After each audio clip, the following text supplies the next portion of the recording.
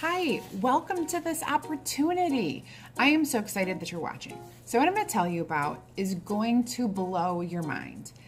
This is a really great opportunity. It is a brand new company. We've only been around one year. Nobody has hardly heard of us at all. It's a great opportunity for you to enhance your current situation.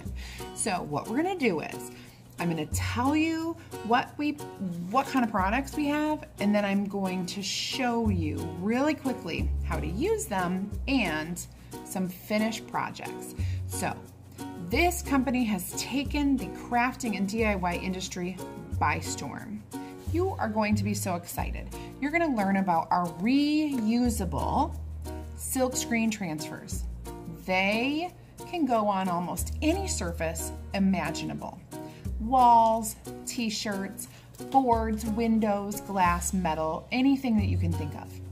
And then we have two mediums that you get to use. One would be a semi permanent chalk paste, not paint, it is a paste and it's washable. So you can redo things.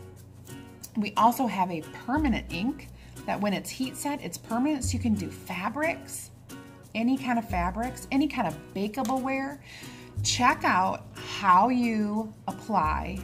You just place the transfer, paste, peel, and reveal an almost perfect project every single time. Check it out. Hey everybody, thanks for watching. Check out how we use these reusable silkscreen transfers on our surfaces. Now you can use almost any surface, not just this really cool box frame that we have.